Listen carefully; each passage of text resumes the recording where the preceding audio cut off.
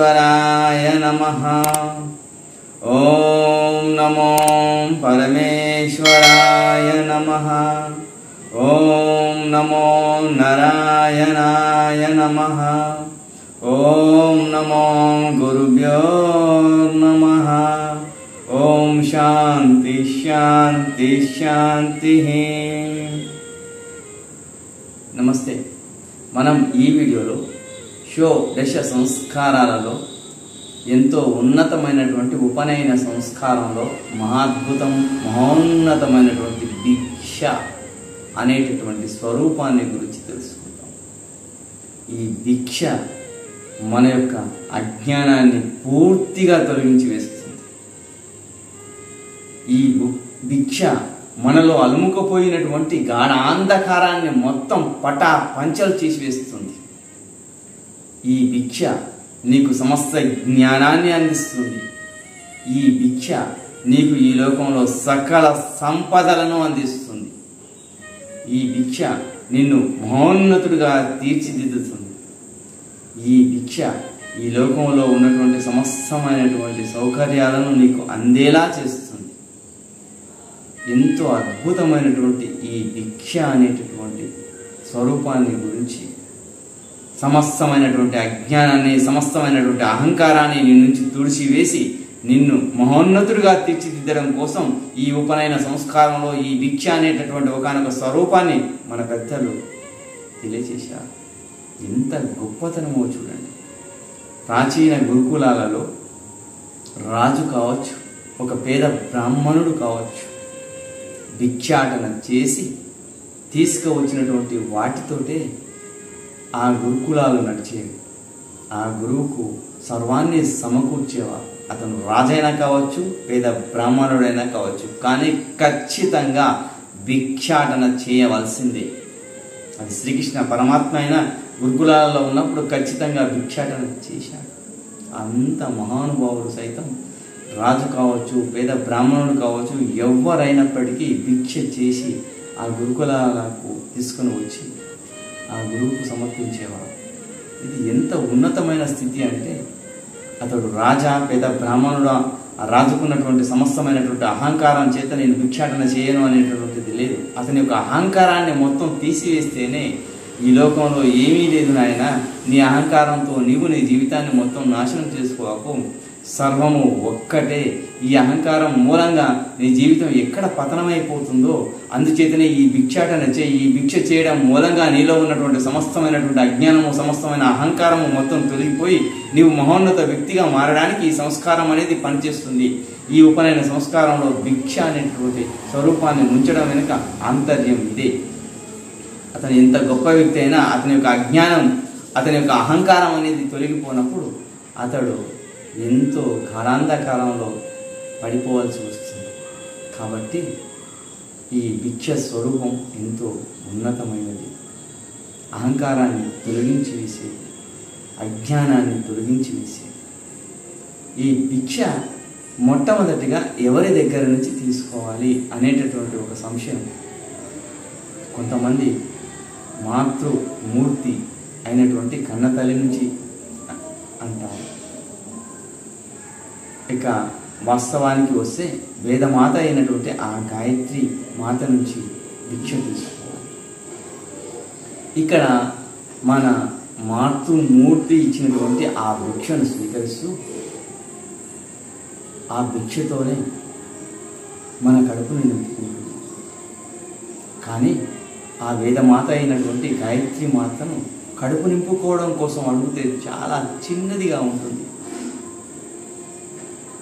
అడుక్కోవడం అంటూ అడుక్కుంటే అడుక్కునేదిదో అడుక్కునేది. జ్ఞాన భిక్షనే అడుక్కోవాలి కానీ అమ్మ దగ్గరికి పోయి సమస్తమైనటువంటి కోరికలను నీ గుంతమ్మ కోరికలను అడిగితే అమ్మ ఇస్తుందేమో కానీ వాటి మూలంగా నీ పతనం ప్రారంభమైపోతుంది. అవాస్తవాన్ని గుర్తుంచుకో. ఈ దేహాన్నే నువ్వు ఆ పరమేశ్వరుని వద్ద నుంచి ఆ అమ్మ దగ్గర నుంచి అప్పుగా తీసుకుని వచ్చావు.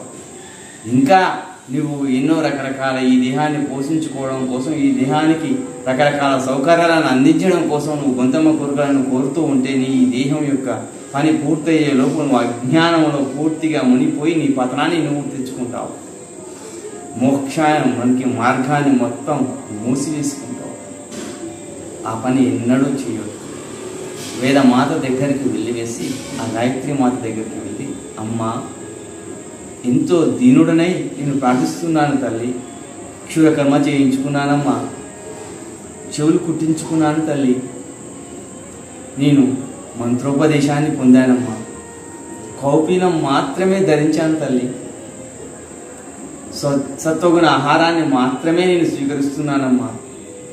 ఎన్నో మంచి మాటలను మాత్రమే వింటున్నాను తల్లి. బ్రహ్మచర్య దీక్షను అకుంఠిత దీక్షతో సాగిస్తున్నానమ్మా. అమ్మ ఇవన్నీ నీ నుంచి జ్ఞానాన్ని పొందడం కోసమే తల్లి. నాకు జ్ఞాన భిక్షనివ్వమ్మ భవతీ భిక్షాందేహి అంటూ ఆ అమ్మను జ్ఞాన భిక్షను ప్రార్థిస్తూ ఉండడం మూలంగా ఆ అమ్మ నీకు జ్ఞానాన్ని ప్రసాదిస్తుంది. కన్నీరు మున్నీరుగా ఆ అమ్మ వద్దకు వెళ్ళి తల్లి నేను ఇవన్నీ చేస్తున్నానమ్మా క్షురకర్మ చేయించుకున్నాను తల్లి అంటూ ఆ అమ్మను ప్రార్థించడం మూలంగా మనం కు ఆ అమ్మ మన దీన మనోవేదనను విని ఇతనికి ఆ అర్హత ఉంది. ఇతను భిక్షను స్వీకరిస్తూ ఉన్నాడు. కటిక నేలపై పరుండి బ్రహ్మచర్య నిష్టను ఎంతో అద్భుతంగా చేస్తున్నాడు. ఇతను కౌపీనం ధరించాడు. అతను క్షురకర్మ చేయించుకున్నాడని ఆ అమ్మ చూసి ఆ అమ్మ ఆ వ్యక్తిని సమగ్రంగా పరీక్షించి సమగ్రంగా పరిశీలించి ఆ అమ్మ ఆ గాయత్రి మాత నిత్యం మంత్రోపదేశం చేస్తూ ఉండడం మూలంగా ఆ గాయత్రి మంత్రాన్ని నిరంతరం పఠిస్తూ ఉండడం మూలంగా అతని మెదడులోని తంతువులన్నీ పొంగిపోయి అతని మెదడులోనే ఉన్నటువంటి సమస్తమైనటువంటి నాడులు కేంద్రీకరం జరి కేంద్రీకరణ జరిగి అతని మెదడులో ఉన్నటువంటి సమస్త నాడులు ఇచ్చుకొని అతనికి ఆ గాయత్రి మాత పద్మాసన ఆసీనురాలైనటువంటి ఆ గాయత్రి మాత అతనికి ఆ జ్ఞానాన్ని ప్రసాదిస్తుంది. ఆ జ్ఞానాన్ని పొందినటువంటి ఆ వ్యక్తి ఆ జ్ఞాన భిక్షను పొందినటువంటి ఆ వ్యక్తి ఆ భవతి భిక్షాందేహి అంటూ ఆ గాయత్రి మాతను ప్రార్థించడం మూలంగా ఆ అమ్మ ఇచ్చినటువంటి ఆ భిక్షను స్వీకరించినటువంటి ఆ వ్యక్తి మహోన్నతుడై ఈ లోకంలో వెలుగుతాడు అతని యొక్క సమస్తమైన అహంకారాన్ని తొలగించుకొని అతను ఎంతో అద్భుతమైనటువంటి జీవితాన్ని నడు సాగిస్తూ ఈ జీవితాన్ని సార్థకం చేసుకుంటాం ఇహలోక సుఖాలను పొందుతూ పరలోక సుఖాన్ని సైతం అతను పొందేటటువంటి స్థితికి వస్తా ఇహపర ముక్తి అనేది అతనికి లభిస్తుంది. జీవితం ఒక ఆనందమైనటువంటి ప్రయాణంగా సాగిపోతుంది. అతనికి జీవితం ఆనందంగా సాగడం కోసం సర్వ మార్గాలను ఆ అమ్మే సిద్ధం చేస్తుంది. ఈ వాస్తవాన్ని నమ్మండి. దీక్ష మన యొక్క అహంకారాన్ని పూర్తిగా తొలగించి వేసి నీకు సర్వాన్ని సమకూరుస్తుంది. కన్న తల్లి ఇచ్చినటువంటి భిక్షతో నువ్వు కడుపు నింపుకోవచ్చేమో కానీ ఆ జ్ఞాన అంబ ఆ జ్ఞానమాత వేదమాత అయినటువంటి ఆ గాయత్రి మాత ఇచ్చినటువంటి భిక్షతో నీవు సమస్తాన్ని పొందగలవు. ఈ సమస్త లోకంలో ఉన్నటువంటి సర్వ సుఖాలను పొందగలవు. ఆ గాయత్రి మాత సర్వాన్ని నీకు ఇస్తుంది ఇది భిక్ష యొక్క అంతర్యం. ఈ భిక్ష అనేది ఎంతో అద్భుతమైనటువంటిది ఉపనయన సంస్కారంలో అని భిక్ష మూలంగా మన యొక్క అహంకారం మొత్తం తొలగిపోయి నిరుపేదల ఆ అమ్మ దగ్గరికి వెళ్ళి వేసి జ్ఞాన భిక్షని అంటూ ఆ అమ్మను వేడకపోవడం మూలంగా ఆ అమ్మ నాయన నీవు నిరుపేదవు కాదు. నీకు సర్వ జ్ఞానాన్ని నేను అందిస్తున్నాను. నీవు ఈ లోకంలో ఉన్న సంపన్నుల కంటే మహోన్నతమైనటువంటి సంపన్నుడవు అంటూ ఆ అమ్మ నీకు సర్వ జ్ఞానాన్ని అందజేసి వాస్తవాన్ని నమ్మండి.